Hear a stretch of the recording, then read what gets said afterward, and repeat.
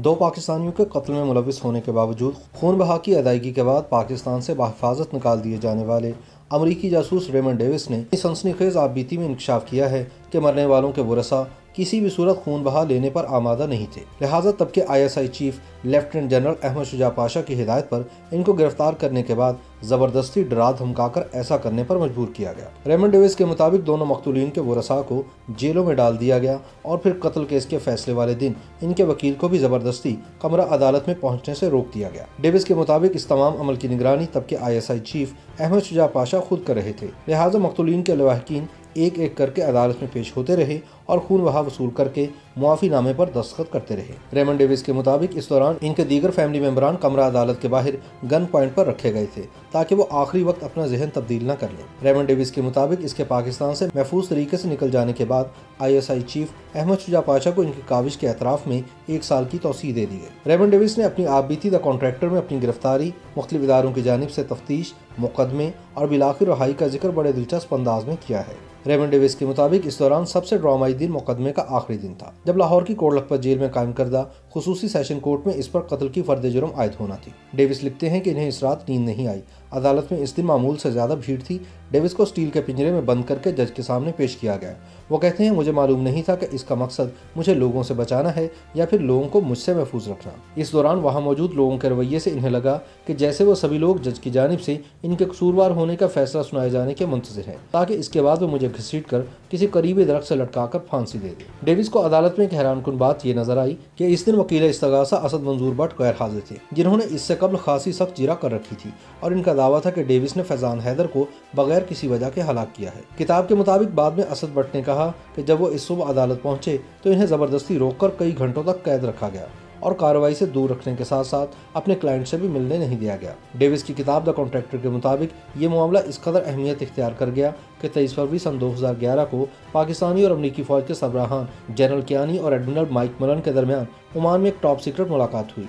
जिसका बड़ा हिस्सा इस बात पर गौर करते हुए सरफ हुआ कि पाकिस्तानी अदालती निज़ाम के अंदर से कैसे कोई रास्ता निकाला जाए कि किसी न किसी तरह डेविस की गुलखलासी हो जाए। इसके मुताबिक 16 मार्च सन 2011 की दोपहर को जब अदालत की कार्रवाई शुरू हुई तो जज ने सहाफ़ियों समेत तमाम गैर मुतल लोगों को बाहर निकाल दिया। लेकिन एक शख्स जो कार्रवाई के दौरान अदालत में मौजूद रहे, वो थे पाकिस्तान खुफिया इदारे आई के उस वक्त के सरबरा जनरल अहमद शुजा पाशा। उस वक्त डेविस को मालूम नहीं था, लेकिन इसी दौरान पसे पर्दा खासी सरगर्मियाँ हो रही थी। इन सरगर्मियों के रोहरवा जनरल पाशा थे, जो एक तरफ़ अमरीकी सी आई ए के सबक सरबरा लियोन पेनेटा से मुलाकातें कर रहे थे तो दूसरी जानब इस्लामाबाद में अमरीकी सफ़ीर कैमरन मंटर से भी रबते में थे। डेविस लिखते हैं कि अदालत की कार्रवाई के दौरान जनरल साहब मुसलसल कैमरन मंटर को लम्हा बलम्हा कार्रवाई की खबरें मोबाइल फ़ोन पर मैसेज करके भेज रहे थे। अदालती कार्रवाई चूँकि उर्दू में हो रही थी, इसलिए डेविस को पता नहीं चला, लेकिन दरमियान में लोगों के रद्दमल से मालूम हो गया कि कोई बड़ी बात हो गई है। डेविस की एक अमरीकी साथी पॉल वकीलों का सार तोड़कर पिंजरे के करीब आई और कहा कि जज ने अदालत को शरी अदालत में तब्दील कर दिया है। ये क्या कह रही हो?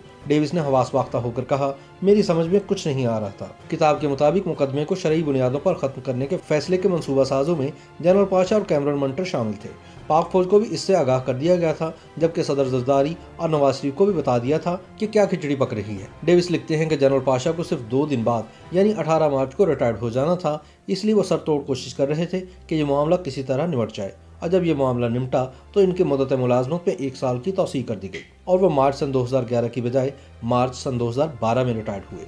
द कॉन्ट्रैक्टर के मुताबिक, ये जनरल पाशा ही थे जिन्होंने सख्तगीर वकील इस्तगासा असद मंजूर भट्ट को मुकदमे से अलग करने में अहम किरदार अदा किया, जो ये मुकदमा मुफ़्त लड़ रहे थे। रेमन डेविस लिखते हैं, जब दियत के तहत मामला निपटाने का फैसला किया गया तो इसमें एक मुश्किल ये आ गई कि मकतुलीन के अजीजों ने इसे मानने से इनकार कर दिया। चुनाचे चौदह मार्च को आई एस आई के अहलकार हरकत में आए और इन्होंने मकतुलीन के तमाम अठारह अजीजों को कोट लखपत जेल में बंद कर दिया। इनके घरों को ताले लगा दिए गए और इनसे मोबाइल फ़ोन भी ले लिए गए। किताब में दावा किया गया है कि जेल में इन लवाहकिन के सामने दो रास्ते रखे गए। पहला, या तो वो एक लाख तीस हज़ार डॉलर का खून बहा कबूल करें, वरना।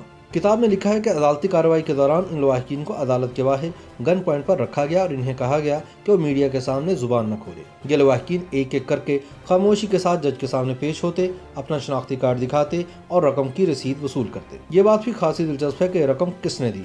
उस वक्त की अमरीकी वजी खारजा हिलरी क्लिंटन ने इस बात से साफ़ इनकार किया था कि खून बहा अमरीका ने अदा किया है। ताहम बाद में खबरें आईं कि रकूम आई एस आई ने दी और बाद में इसका बिल अमरीका को पेश कर दिया गया। जो ही ये कार्रवाई मुकम्मल हुई रेमन डेविस को एक अकबी दरवाजे से निकाल कर सीधा लाहौर के हवाई अड्डे पहुँचा दिया गया, जहाँ एक सेस्ना तैयारा रनवे पर इनका इंतज़ार कर रहा था।